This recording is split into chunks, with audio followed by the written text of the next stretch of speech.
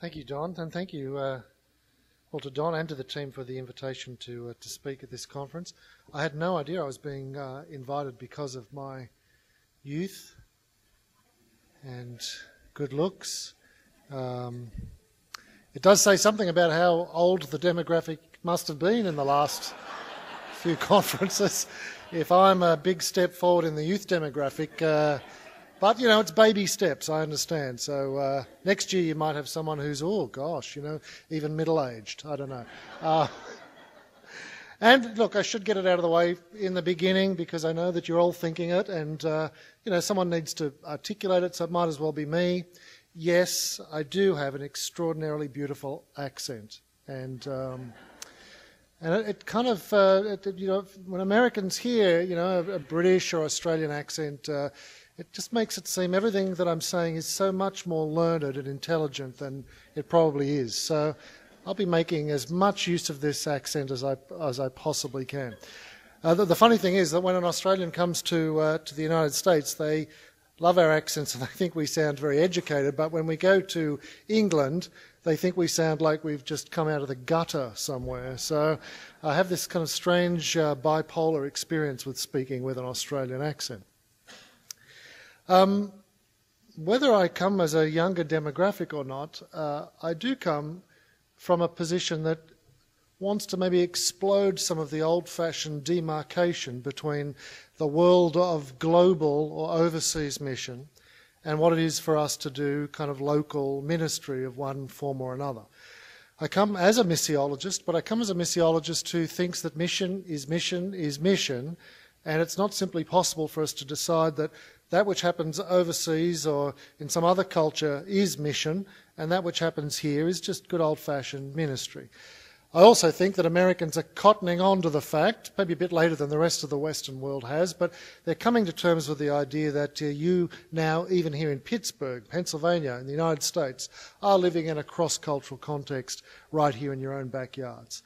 So the kinds of things that we used to just teach people who are going to China or India or South America, we are now teaching uh, those same principles to people who are intending to serve God in churches in their own contexts.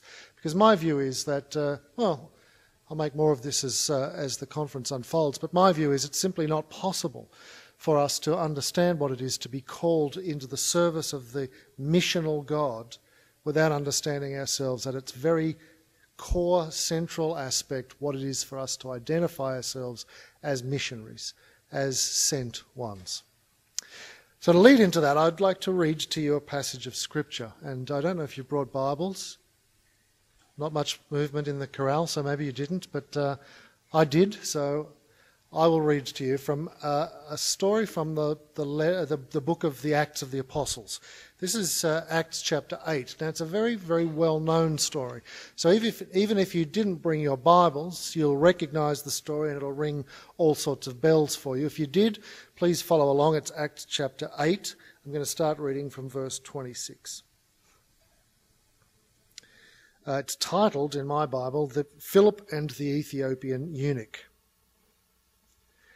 Then an angel of the Lord said to Philip, Get up and go toward the south to the road that goes down from Jerusalem to Gaza. This is a wilderness road. So he got up and went. Now there was an Ethiopian eunuch, a court official of the Candace, the queen of the Ethiopians, in charge of her entire treasury.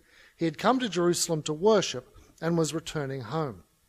Seated in his chariot, he was reading the prophet Isaiah.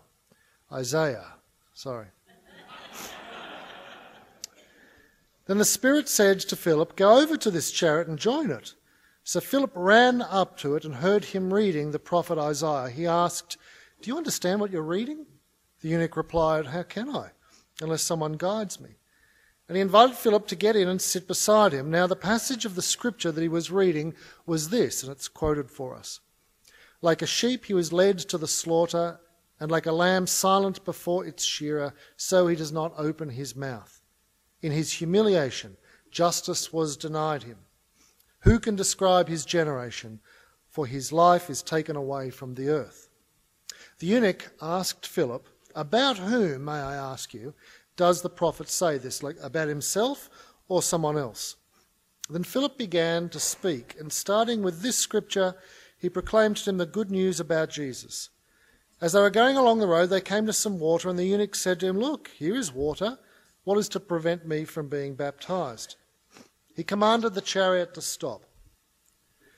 Uh, and both of them, Philip and the eunuch, went down to the water, and Philip baptized him. When they came up out of the water, the Spirit of the Lord snatched Philip away. The eunuch saw him no more and went on his on his way rejoicing. But Philip found himself in Azotus, and as he was passing through the region, he proclaimed the good news to all the towns until he came to Caesarea. Now, as I said, it's a well known story, very well known story. You probably got it way back when you were a kid in Sunday school. And one of the interesting features about it, or one of the features I guess that many people get a little bit um, preoccupied with, is all the sort of magical or mysterious or almost kind of mythic elements of the story. I mean, you know, you've got this angel appearing and speaking to an apostle, sending him on the wilderness road to Gaza. Then you've got a, the very end of the story, the, the apostle kind of teleports across the Middle East and ends up in another place. And in the middle of it all, you've got just the most extraordinary character in, in, in the New Testament, really. I mean, one of the most bizarre characters, certainly in the book of Acts. You've got an Ethiopian accountant eunuch. Like, it must be true because who could make this stuff up, right? I mean, it's just kind of bizarre and mythical and magical and extraordinary. And in particular, it's kind of odd to find in the book of Acts, since the book of Acts is so earthy, so gutsy, and so frank and open, not only about the marvelous things that God is doing through the apostles, but even the mistakes and the conflicts and the disappointments. I mean, it's a very frank, very down to earth document in some respects, but here appears this kind of almost magical uh, bedtime story type uh, um, anecdote. What is it that we can make of it? Well, I want to suggest to you folks that encapsulated in this story are kind of some fundamental missional principles, missional principles that find themselves being worked out all the way through the book of Acts and indeed throughout the whole of the, the New Testament.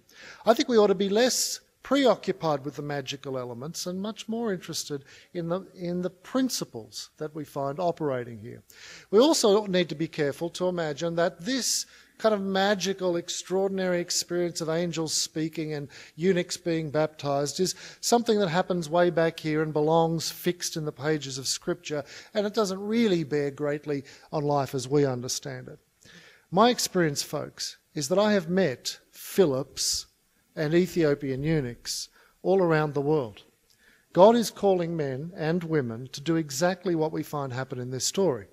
He's calling them in varieties of different ways, and they're doing varieties of different things, but in essence, the principles that we find operating here are occurring all around the world. And my question to you is to what degree is it happening in your life? A few years ago, I was in Cambodia. Cambodia is uh, in Australia's backyard, as is most of Southeast Asia, and I've been there a few times teaching Khmer pastors uh, and uh, uh leading student uh, short term mission teams. I love Cambodia. I feel for Cambodia. It's hard to go to Cambodia and not kind of feel the palpable sense of misery in that place. I mean, it's been invaded by just about every superpower going the British, the French, the Chinese, the Vietnamese. I mean, even you guys bombed the daylights out of them. So they know what it's like to have been set upon uh, by forces greater than themselves. Indeed, even Cambodians themselves know what it's like for their, their own people to attack them, particularly during the 1970s Holocaust under the uh, auspices of the evil Pol Pot. It's a, it's a broken, broken nation. I go there, and part of what I want to do is to try and set a missional DNA in the burgeoning church as it now really starts to get a foothold in Cambodian life and culture. I want to tell you about a man that I met there a few years ago. I was speaking or teaching a group of Khmer pastors uh, in, a, in a sort of a conference space or a meeting space above a bakery right on the banks of the Tonle Sap River. Imagine the, the brown Tonle Sap River flowing right through uh, Phnom Penh, the capital of uh, Cambodia, just here uh, to, to, my right. We're above the bakery, looking out over the river, and beyond the river, looking out to paddy fields. Behind us on this side is the metropolis of, of Phnom Penh. The pastors who gather generally are older people, not unlike those who gather at the World Missions Initiative Conference in Pittsburgh Seminary. It's a particularly Southeast Asian thing, of course, for you to be older in order to be a leader. And many of these men, they're all men, uh, were converted mostly by American and Australian missionaries in Thailand when they had uh, escaped as refugees uh, over the border during the Pol Pot era. Uh, they tend to be very conservative men. They wear white business shirts with long sleeves, and uh, uh, they look like Khmer pastors, to be quite honest, except on this occasion. There was one man sitting in the very back of the room. This man did not look like a Khmer pastor. He had a black leather jacket on, and the fact that it was like 100 degrees and 100% humidity, just I was in awe of the fact that he could wear a, a leather jacket. He had reflective wraparound sunglasses and a very thick goatee uh, and a black t shirt and jeans. I mean, he didn't look like a pastor. Uh, certainly not a Khmer pastor. And I thought, I wonder who that guy is, even as I was teaching the pastors. I wondered whether he was maybe an employee of this centre and he just happened to sit in during the sessions. I also wondered whether out on the veranda here that looked out over the Tonle Sap River, there might be a lovely cool breeze wafting off the river. In fact, I fantasized about this cool breeze all the way through the first session, so that when we took a break for coffee, and just between you and me, the last thing you feel like drinking in 100 degrees, 100% humidity is coffee, I made a beeline for this veranda, imagining this marvellous cool breeze. There is no such thing as a marvellous cool breeze in Phnom Penh, so as I stood out there, just as hot out there as I was here, the man in the black leather jacket and the reflective sunglasses came and stood next to me. And his English as it turned out, was quite good. I said to him, Now, what, what brings you along here? He said, Oh, I'm a pastor. He said, Didn't, did, Couldn't you tell? so I laughed and said, No, actually, it did elude me that you might have been a pastor. I said, So, well, what, what, uh, what church do you belong at? Oh, he said, Well, it's not really a recognized church as such. He said, uh, But before I tell you about it, he said, Let me ask you something. As we stand here looking out over the river, do you notice anything different about the river from the last time you were here? And I looked up and down the river and I thought, yes, it does look different, but I couldn't put my finger on what the difference was. He said to me, maybe the last time you were here, a year or so ago, maybe the other, the bank, the opposite bank of the river was lined by squatter villages. You know, corrugated iron and bamboo shacks perched on stilts on the steep embankment of the river. And as soon as he mentioned this, of course, I remembered. I even have photographs of these, these villages perching on the bank of the river made from whatever materials they can find. These are the poorest people in one of the poorest nations in the world. Right up and down the river, these squatters living on public land.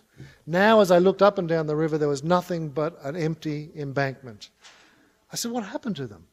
Well, he said, because we've now had 10 years of relative stability, politically at least, he said our economy is not doing too badly, and the government has decided that they can sell that land to developers, mainly Chinese and Thai developers, to build, you know, apartments or hotels and the like. And so they needed to evict them. He said, uh, They are my church, they are my parish. I said, Tell me your story. How did, how did this work out? He said, I. Um, I was a I was a black marketeer. I used to smuggle stolen goods off the Thai, across the Thai-Cambodian border. Uh, I found out later from a few other people that know him. He was a pretty bad cat. This guy. Uh, he he had made a good deal of money on the black market, and then a few years before I met him, one of his business associates had kind of ratted him out to the Cambodian police, so they came looking for him. He had to go on the lam. He took off, ended up hiding out in a small village in northern Cambodia. While there, something happened to him that completely ruins your career as a black marketeer. Somebody told him about Jesus and he got totally and radically converted uh, to being a Christ follower. Now, of course, he can't go back to his old business. Uh, the other interesting thing about him is he said to me, I, I, I, was Buddhist, he said, but I wasn't even a good Buddhist. So now that I'm a Christian, he said, I don't know anything about anything. So in church, everything that they would do, I'd say, what does that mean? Why did you do that? And what is that? Who wrote that? And why does this mean? What does this mean here? What every, I mean, a million questions over and over and over, trying to put all the pieces together to kind of do all the backfill about what it is that I now believed as a Christian. My pastor said to me, wait, wait, wait. He said, you're asking too many questions. We can't cope with this. Uh, listen, I, I think you need to go to Bible college. And I said to him, wow, that's fascinating because, you know, that's what we do in my country. When churches can't cope with all your questions, you send them to the Bible college. So he went to Phnom Penh Bible School. He got a diploma in ministry. Now, bear in mind, folks, he doesn't feel any great sense of calling to be a pastor. He's just trying to work out what it is to be a Christian. But in the end, he ends up with a diploma in ministry. So he's now actually qualified to be a pastor and not to be anything else. And so he turns up and knocks on the doors of all the denominations, all the mission organizations around Phnom Penh, and presents himself and his credentials and says, I'm a pastor. Would you like me to be a pastor in your denomination? Now, just take one look at him and you know that everybody said, gee, thanks, but no thanks. So he said he was standing down by the Tonle Sap River asking the Lord Jesus, well, what do I do now? Like, where do I go and how do I make a living? When all these lorries, all these trucks, sorry, pulled up, a convoy of military trucks pulled up on the other side of the river. And military commanders in loud hailers started calling out to those who were squatting on the river that they had 30 minutes to gather their possessions and their children and to climb into the backs of these trucks. You're to be evicted. This man's name is Abraham Hang, and Abraham said, I stood there on the opposite bank and I heard mothers screaming for their children who'd been playing in other, other homes. I watched people gathering the few chickens that they had and collecting their possessions and in mad pandemonium, climbing into the backs of these trucks. And as I watched it, he said, I felt as if I'd heard a voice that said to me, There is your church. I said, What did you do? He said, I got on the back of my motor and I followed the convoy of evictees. I said, Where do they take them? He said, Where do you think they took them? They took them to land that they don't want to use. They took them an hour out of Phnom Penh. They took them to a, a mosquito infested swamp.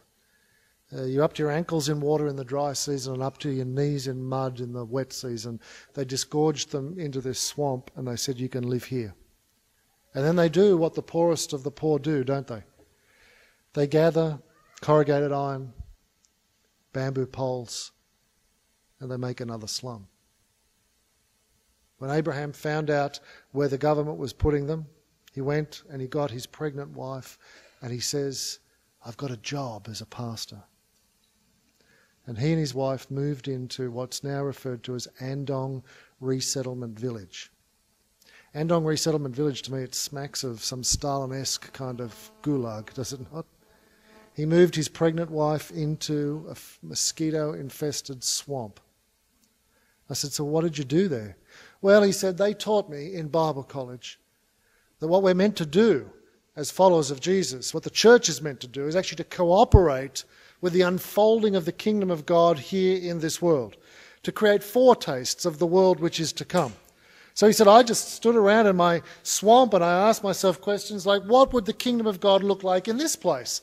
And I thought to myself, well, I'll bet in the world to come, at the regeneration of all things, when everything is revealed, I bet that we don't live in swamps with water up to our ankles. I mean, I, I presume we're going to live on dry land. And when he put this to me, I thought that had never even crossed my mind that we wouldn't live on dry land. Of course, I said. Well, so he said, what do you think I did? I called all my friends who'd been to Bible college, who are now pastors of churches all around Phnom Penh, and I said to them, get all the men that you can, and all the shovels and all the tools you can, and get out here to Andong. And then I brought all the men of the village together, and hundreds and hundreds of men. We dug channels through this, uh, this swamp. We drained the land out. Uh, he's taken me to Andong. I've seen them. Some of them are just ditches. Others, they've actually got uh, uh, uh concrete piping and drained this land. They now live on a dry island in the middle of swamp. And then he said, I thought to myself, look, all the children have the most disgusting dental hygiene. And disease simply sweeps through a slum like this regularly. And I thought to myself, well, in the world to come, when everything is as Jesus intended it to be, I bet that we won't have disgusting and filthy teeth I bet that we won't be prone to sickness and disease. So he said, I mean, we've got to create foretastes of the kingdom which is to come right here in this place. So I rang all my mates I went to Bible college with. And I said, Have you got any dentists or any doctors in your congregations? And they had a few. Some of them had expatriate missionaries, Australians, Americans, Dutch, Swedish. Uh, so I called them all, or I visited them all. And I turned up with my diploma of ministry. And I said to every one of them, what I'm about to tell you is absolutely true because I am fully qualified with a diploma of ministry to tell you this. There is a special place in hell for all doctors and dentists that do not volunteer to come to Andong Resettlement Village. And so now every week a doctor or a dentist runs a mobile clinic in Andong. And then he figured that children wouldn't be ignorant, that we would have knowledge and insight. So he starts a preschool and a school. And uh, in the end, he realizes that in the world to come, we won't live under corrugated iron in 100 degrees and 100% humidity, which is the same as living in a microwave oven. So he found, or he met this, uh, this American missionary from Seattle who came, she, he discovered she came from a mega church. And he thought to himself, man, a mega church, they must have some serious money if they're a mega church. So he hit this church up and they've ended up paying for over 250 thatched roof houses to be built in this slum. He said to me, would you like to, would you like to come to Andong? I said, more than anything in the world. I got on the back of his bike and we tore through the streets of Phnom Penh out to Andong. Now, folks, it's a slum. You've been to a Southeast Asian slum? Even one like Andong, where the kingdom of God is bursting forth, is not the kind of place you or I want to live in. But when we walked through that place, there were doctors and dentists, there was hygiene, there were clinics, there were schools, there were churches, there were comfortable houses. And as we walked down the alleyways and the side streets of this slum, men and women would come out, and as the Khmer do, you know, would bow with both hands together, and then spontaneously would start speaking to me in Khmer, which I can't speak. So I would say to Abraham, what, what is she saying? Or what is he saying? Oh, he's very embarrassed to have to translate. But as it turned out, people were coming out and spontaneously telling me their testimony of the power of Jesus in their lives. I was an alcoholic. Abraham told me about Jesus. I've been set free. I used to beat my wife. I was spontaneously confessing to the reign and rule of God in this place. My friends, don't tell me that Philip belongs in the pages of Acts chapter 8 and wow, those were the days. Don't tell me the angel of the Lord is not turning up and speaking to people and saying, Get up and go on the wilderness road down to Gaza. Don't tell me that mysterious and magical and marvelous things are not happening as the kingdom of God unfurls right before our very eyes, even in the most ugly and despicable and disorderly places, as a resettlement village in Cambodia. My friends, what we discover in this passage and what I discover in the life of a person like Abraham, and I'll tell you a whole bunch more stories of other Abrahams and other Philips that God has sent out on the wilderness road to Gaza. And I will ask you over and over and over in the sessions that I have to present to you to whom have you been sent? And what road have you been called to go down? And which slum have you moved into? And how are you seeing the reign and rule of God through Christ unfolding in the place to which He has sent you? At least three principles you can find from this story. The first one is this that all missional activity, my friends, all missional activity is as a result of obedience to the call of God. Mission does not belong to the church. It's not the church's mission. We're not here to do church work. Folks, mission belongs to the very character and nature of the missional God. And therefore, all mission is as a result of obedience to that call. Now, in this case, it's an angel that appears and sends him. Literally says, Get up and go. But you'll find through the book of Acts, the Holy Spirit speaks over and over and over. And nearly every time the Spirit speaks, nearly every time the Spirit speaks, the word that the Spirit brings is this go. Sometimes, my friends, it's an angel. Sometimes it's debate and discussion in the, in the church in Jerusalem. Sometimes it's some collective intuition, as in the church in Antioch. Sometimes it's a dream of a Macedonian man in the case of Paul. Whichever way the Spirit speaks, it is always, it seems to me, the case that the very essence of the, the word that is spoken is a calling to move out from where we are now to go on the road down to Gaza. Now, my friends, I've belonged to a charismatic church for a number of years. And it seemed to me the Holy Spirit was speaking to us all the time. There were regular times where people could stand and prophesy, What is the Holy Spirit speaking to us? What is He saying to us?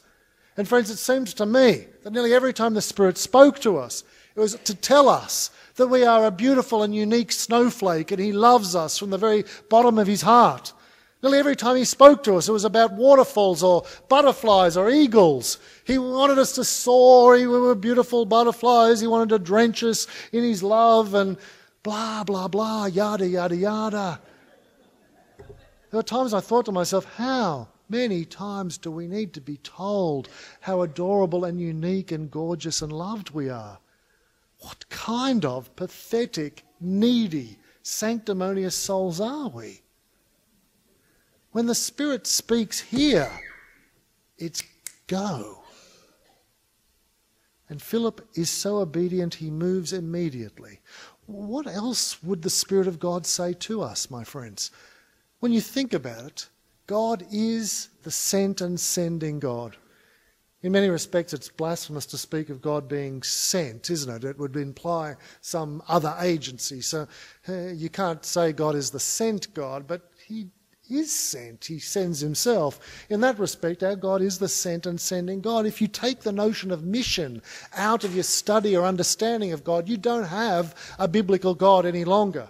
David Bosch, the South African missiologist, said, We have got to get over this idea that missiology belongs in the area of practical studies or global missions or some such place. You cannot understand the character of God if you don't understand God through the prism of the missional uh, character and nature of that God.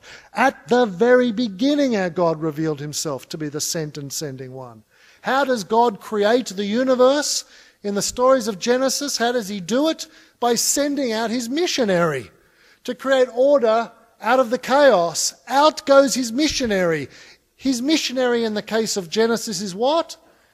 It's his word. And God says, and God said, and God said. Out goes his word, and it fashions order out of the chaos. Even when relationship is severed with Israel, God continues to send himself into the life of Israel through the prophets, through the kings, uh, in the tabernacle and the temple, constantly sending himself out to the recalcitrant people of God. So much so that the kind of the great uh, Hebrew missiologist, Jewish missiologist, uh, uh, Heschel, writes his magnum opus. Well, what is the Hebrew Bible about? It has the best title of all God in Search of Man. You want to know what the Hebrew Bible is about? It is about Yahweh in search of humankind, extending himself after human beings, sinful, broken, lost, and disobedient. Well, it reaches a high point, does it not, for us as Trinitarian believers, where we discover that the essence of our understanding of who God, who the triune God is, is that God the Father sends God the Son. And that God the Father and God the Son send God the Holy Spirit. You can speculate all you like about the nature and character of the relationship within the Trinity. It's all speculation, except at this point. Sending defines to some significant level the interrelationship of the Trinity. You don't have God if you don't understand God is the sent and sending one. And then, as Jesus reveals to us, that whole cycle is not complete until we understand that God the Father, God the Son, and God the Holy Spirit then send us. Friends, what ought to be the primary characteristic of the Christian movement? Movement. we are the sent ones. We are not the singing ones. We are not the preaching ones. We are not the listening ones. We are the sent ones. Where will you find us? Among the poor, among the lost, among the broken. Folks, what else would the Spirit say if He spoke to us other than get up and go on the wilderness road to Gaza? But the second principle we discover is this excuse me, that mission is always done in close proximity to those to whom we've been sent. Mission is always done in close proximity to those to whom we've been sent. Notice in the story, the Spirit sends him and he goes. The Spirit sends uh, Abraham and he goes. The Spirit sent you, I presume, and you went. But watch what happens, what has to happen to Philip in order for this cycle to unfold. Philip races to where he's told to go, and there is a chariot with an Ethiopian eunuch reading the book of Isaiah. Do you ever think the apostles just think, man, this just gets kookier and kookier? Like, and what does the Spirit then say? The Spirit says, go closer. He steps over to the chariot and overhears him reading the book of Isaiah, uh, you know, Isaiah, and says to him, Man, do you understand who, who that passage is about? And what does the eunuch say? The eunuch says, Well, how could I understand this, what this means unless someone explains it to me? This is code. What he's really saying is, How could I understand what Hebrew scriptures say unless a Jew explains it to me. So come and explain it to me. He's invited into the chariot. Now, I don't know if Philip at this point pauses. I don't know, even know if chariots have doors, but I imagine a door swinging open. Come and explain this to me. And I imagine Philip imagining all the list of Hebrew laws he's about to break by stepping into this chariot. You know when Neo in the Matrix finally cracks it and all those letters start kind of falling? Imagine, like Philip, imagine all the things I'm about to do wrong now by getting into a chariot with this man. Friends, sometimes, more often than not, when the Spirit calls us and sends us, He calls us and sends us to do unlikely things and to climb into chariots when we vowed we would never ever do such a thing. My question to you folks is to whom have you been sent? And don't tell me it's the church. Don't tell me I'm sent to the church to serve the church. We're all called to serve the church. Have you got that? But we have all also been sent beyond the church. My question to you is to whom did you hear the angel of the Lord send you? And my second question is well, then where must you go? To build close proximity with the person or people to whom you've been sent. You cannot phone mission in, folks. You cannot do it, visit, disappear, and leave again. Mission is us moving into the neighbourhood. Mission is us moving into the slum. And I don't think it's ironic. I don't think it's coincidental that all of all the passages that the eunuch is reading, what is he reading in the book of Isaiah? He's reading a passage where it's revealed to us that when God chooses to redeem humankind, what does he do? He becomes as one of us and moves into our neighborhoods. He's reading a passage about the God who takes on flesh in order to redeem flesh. It's a story of God's proximity with broken people. And at that point, the challenge is to Philip, will you have proximity with this one, this black one, this African one, this eunuch? Will you step into this chariot now? And God love him, he steps right in and starts to speak to him about the unfolding story of the gospel right throughout history, even to that point in time. So, friends, what kinds of precious rules of life are you called to break? What kind of unlikely people have you been sent to live among? I was in Sheffield, England once and uh, met this, uh, this, uh, uh this trio of women, one of them in particular Margaret Walsh. All three of them were, were Catholic nuns. And all of them had been commissioned by their parish priest to go to the great nine great tower blocks in Sheffield, England, uh, the public housing block, housing projects, you know, the poorest of the poor. These are the closest things England has to a slum. No services, uh, lots of crime, unemployment, violence. It, it, it's the kind of place you would never want to live. These three nuns would go in every day with clipboards and survey forms, knock on doors, and ask about the social needs in this community. And can you imagine the stories they collected? Domestic violence, long term unemployment, uh, sexual assault, uh, you, you, name it. Uh, and then they would gather up these terrible stories and drive back to their, their parish church. She said to me the thing that disturbed her most about it was not hearing the stories, not collecting them, not even being in that place. The most distressing and disturbing thing for her and her friends was that every day they got into their car and they drove away. She said to the parish priest, We can't keep this up. how would you feel about the church renting us a maisonette in the in the uh, public housing blocks? And so the church agreed. They paid to rent an apartment in one of these blocks. So these three women moved in. They didn't do anything else different. It's the same clipboards, it's the same surveys, it's the same door knocking, it's the same listening and collecting data. The only difference was they had now climbed into the chariot. And what happens when you climb into the chariot?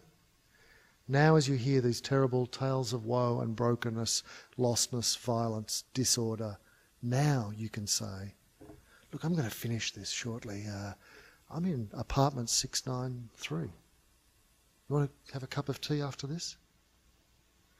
Simply by moving into the neighbourhood, but continuing everything else the same.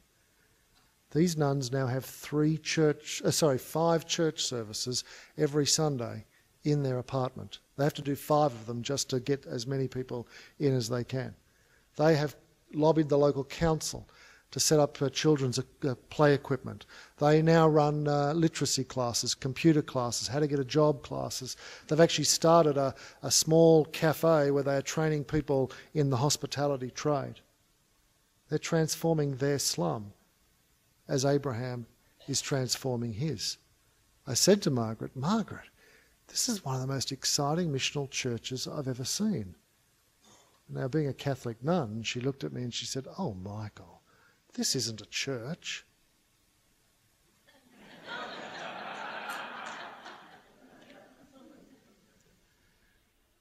Which neighbourhood do you need to move into? It might actually mean moving house. It might actually mean changing jobs. It might mean stepping into the chariot when you've been told all your life, don't go near the chariot. Friends, missional Christians are identified by obedience to the Spirit of God and by proximity to the people to whom they've been sent. I spoke at a conference that Alan and Deborah Hirsch organised once, and Deborah said to me, "Oh, we've had had this guy call us and say he, you know, he, he's disallowing anyone from his church to come to this conference to hear you speak." And I said, "To hear me speak? Why? Why would they? Why would anyone boycott hearing me speak?" And she said, Well, the minister said to us, we don't want our young people hearing Michael Frost because he identifies too much with sinners. I took it as high praise. Climb into the chariot, folks. Climb into the lives of those who churches all our lives have told us to disassociate ourselves from. Go where they go eat what they eat, drink what they drink, and announce to them the kingdom of God is at hand. To whom have you been sent? And where have you gone as a result? And thirdly, the third principle that I see here is that if mission is a direct result of obedience, to the, the word of the Spirit. If mission is only ever done in close relational and physical proximity to those to whom we've been sent. The third thing you discover from this passage is that we can go forth trusting completely in the prevenient grace of God. Now, not to patronize anyone, but let me just explain that term. You might be familiar with the term convenient. Well, drop con and put pre instead. Prevenient grace. Prevenient grace is simply God's work in the lives of those who have not yet heard or responded to the gospel before anyone turns up to convene any gospel ministry in their lives. Does that make sense? To prevene something is to organize it before it's convened. So Don convened this conference tonight by welcoming us and kicking the proceedings off. But he and his team had prevened this conference in all sorts of ways before anyone sh- showed up. So prevenient grace is all the ways in which God operates and moves in our world before any of his agents, his sons and daughters, turn up to convene any kingdom work in that place. And what do you see happening in this story? It is absolutely drenched with prevenient grace. Have you noticed? I mean, Go on the road to Gaza. When you get down there, what are you going to do? You're going to bring the kingdom of God. You're going to bring me down there. What happens when Philip gets down there? He discovers that God is already there, is he not? Because here is the eunuch reading scroll from Isaiah. Here is a eunuch who has travelled all the way from Ethiopia to Jerusalem for the Passover. Here is a God-fearer in whose life God has clearly, Yahweh has clearly been at work. I mean, this is an extraordinary task to go all the way to, to Jerusalem for the Passover, is it not? I mean, it'd be like an American Muslim going all the way to Mecca uh, uh on a pilgrimage. It would be a once in a lifetime, cost a fortune. This man has done exactly that, all the way to Jerusalem, once in a lifetime, my absolute opportunity to go to Zion to worship Yahweh. This man has had God at work in his life. Here he is reading the book of Isaiah. Here is a man who knows what it is to devote and to commit. God has built into his character capacity for commitment. I mean, look at him. I mean, this is a man who's in charge of the whole treasury of the Queen of the Ethiopias. Not only that, this is a man who has demonstrated his absolute and total allegiance to his mistress and servant by becoming castrated. And folks, Talking about some serious commitment here, right? This man knows what it is like to yield, to believe, to commit. This man journeys all the way to Jerusalem, and can you imagine how dissatisfying his experience must have been? You're black, you're a Gentile, and you've been castrated. How many rules and laws and barriers do you think he encountered in Jerusalem? How many uh, this far but no further? Uh, no entry here. So you'll have to go around. Oh, sorry, you can't do this. No, no, no, stop there. You've got to. How many negotiations did he need to make around Hebrew law to have just a, just a taste of what it is to come up to Zion and worship Yahweh? This man has just spent his whole experience negotiating his way around religious laws and prohibitions. And then this Jew climbs into his chariot and says to him, Do you know what that's all about? And unpacks for him this extraordinary story that all that God has been doing and shaping in your life has brought you to this point where I can announce to you in Christ there is no barrier.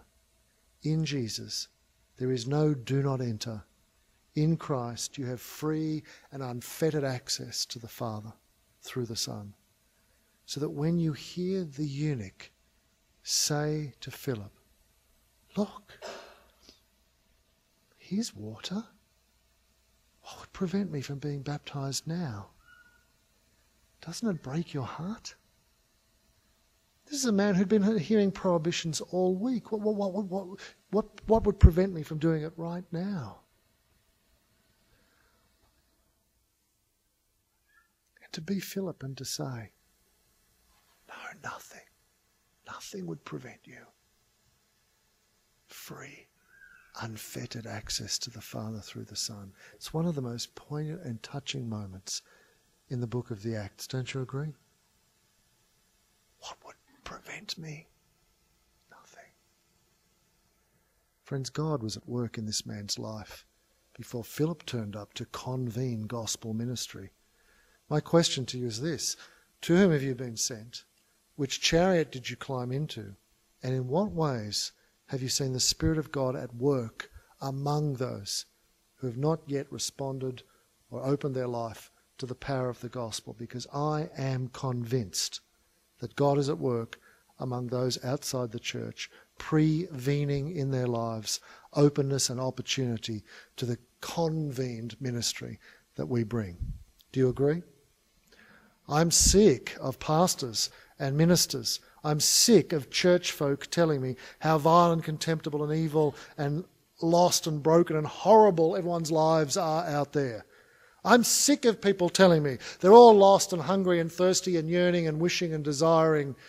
Friends, the people that I meet out there, their lives are no better or worse for the most part than I discover of people's lives inside the church. What I discover out there is actually possibility of faith, openness.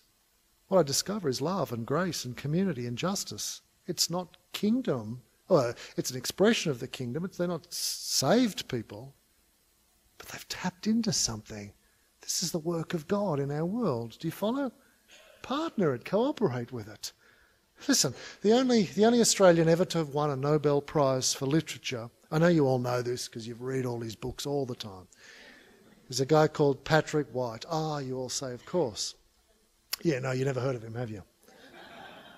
He won the Nobel Prize in the 1970s, but he was really popular in England and Australia in the 50s and the 60s.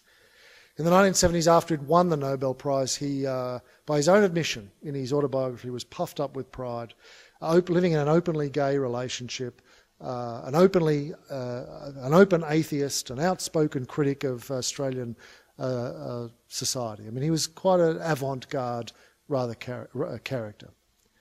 In his autobiography, he tells of the most extraordinary experience, this one tiny moment in his life.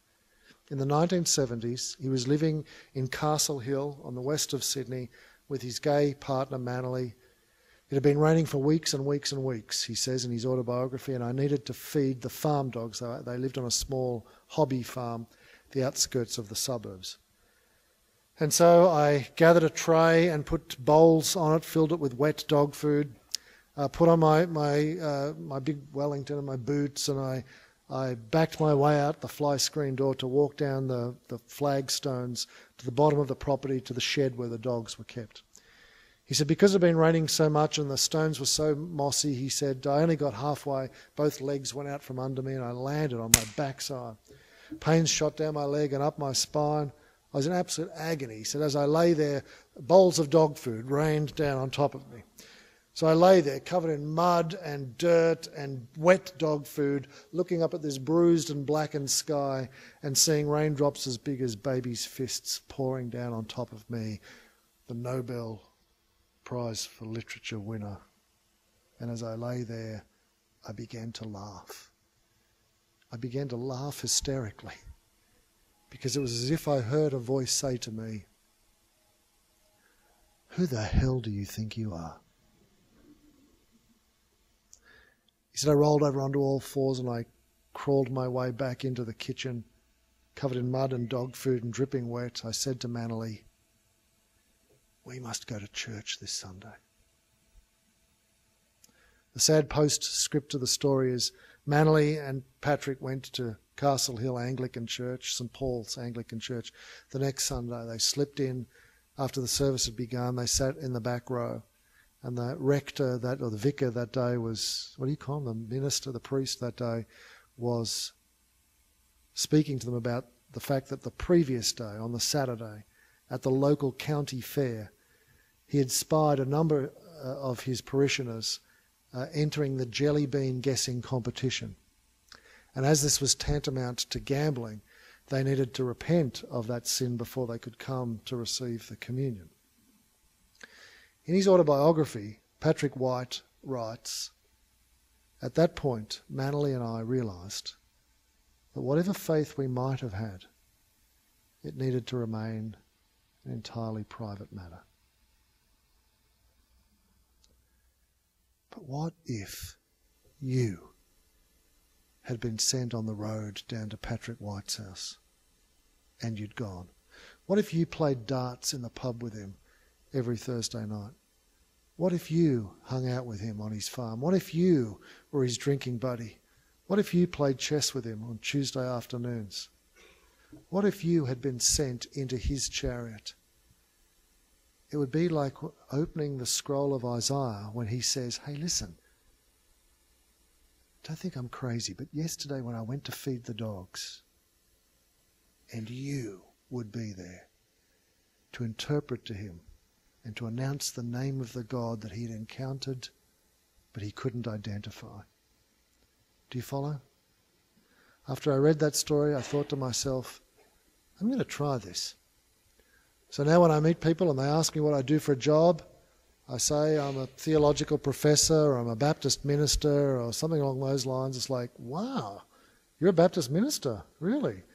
It's like, yeah, yeah, I'm a Baptist minister. And then they give you their religious pedigree. Have you ever noticed people do this? And then they say, huh, well, how about that? Because, like, my next door neighbour's second cousin's third aunt's next door neighbour's uh, cat walker is a Presbyterian minister. You always say, wow, that makes you and I very similar, obviously. I mean, and then they will often say, Not, not that I'm religious, of course. I'm, I had a guy say to me, I love to express my spirituality through my art. No, not that I'm religious, of course. So whenever anyone tells me they're not religious, I always say, So you've never had a religious experience? And people will always, 100%, say, Oh, oh, yeah, no, yeah, no, I have had religious experiences. So, well, tell me about one. When my daughter was born and they brought her up onto my breast, I looked at this little tiny thing and I thought to myself, oh, surely life doesn't come from within me. Well, that's a religious experience, isn't it? When I sit on my board and I feel the South Pacific Ocean roll underneath me as I wait for another set to roll in, I look down at that dark, deep blue sea and I think to myself, ay, ay, ay. That's a religious experience, isn't it? I went on a spiritual retreat to Nepal I went to a Scott Peck seminar, a, a Deepak Chopra seminar, you name it. Our job, friends, is not to bring God to those who are having religious experiences. Our job, my friends, is to name the name of the God that they are yearning for, searching for, and experiencing, and to identify him as Philip does, as the one who reveals himself in his Son and our Saviour Jesus. Do you follow? Trust it, believe it. God is at work. Don't sit in your churches, your Bible studies, your small groups, your seminaries, pontificating about what it should be like and how we should respond. Get up and go on the road to Gaza. Get on your knees, my friends, and beg the Spirit of God to answer this question To whom have I been sent? Which chariot do I need to climb into? And how is the kingdom of God, the reign of God, unfolding in the place to which you send me, and how might I cooperate with it? Do you follow? It's not terribly complicated. And it is, I believe, the Christian faith as it was intended to be lived. Thank you.